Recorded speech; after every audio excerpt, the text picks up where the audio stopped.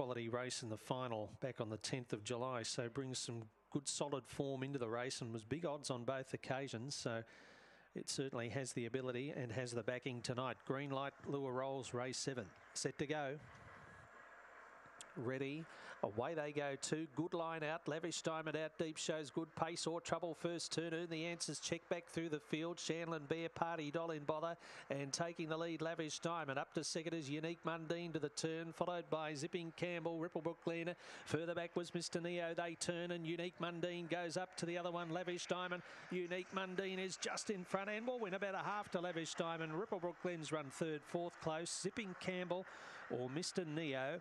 Uh, behind those earn the answers, no luck, with Shanlin Bear Party Doll in 22.84. Winner number eight, Unique Mundine, at around 7.90 and 2.30. Just holds Lavish Diamond at 140. And Ripplebrook Glen at good each way value around $3.50 for third. Numbers here six, uh, numbers I should say, eight, six, seven, one. Eight, six, seven, and one. So the on toppy for the watchdog.